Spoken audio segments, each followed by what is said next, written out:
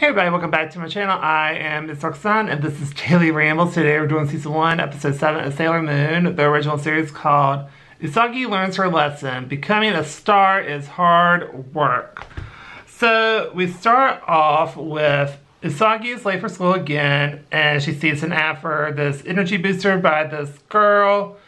Then Naru's um, comes by and smacks her on the head and she's late as well and kind of snaps her out of it. She's, that should be a good friend. Then we cut to where Umino got a poster of the girl and he's giving off creeper vibes. And basically we find out thanks to his computer that he that she used to go to their school and she's very successful and makes like two million an episode, which is insane money, I guess. And then we cut to where uh, the girl, I want to say Mika or Makan, is doing autographs, and then Jade is lurking. Then Naru Usagi are trying a singing routine with dancing, that's a big no, and they argue a lot during that, and they get a breakup.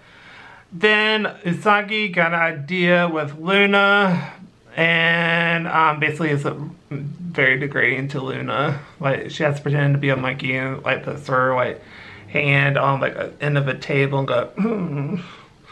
Anyway, then we cut to where a monster attacks and replaces Makan.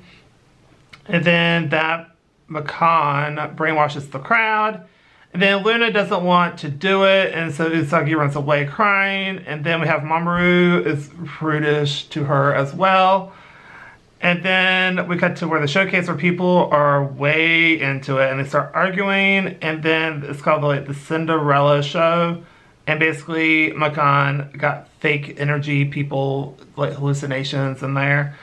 And then, um, and then they start taking energy from them.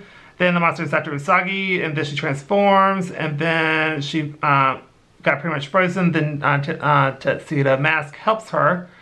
Then she uses her tiara, and she's gone, and then everything is back tomorrow. On everyone's back to normal and tomorrow. uh, and that was an upset. I gave this an A just because I thought it was interesting on how they did that. And um, you get to see her, she's still running away and crying in the bathroom. So that's why I kind of got like a uh, mine. It's not like an A plus or whatever, but it's not A minus.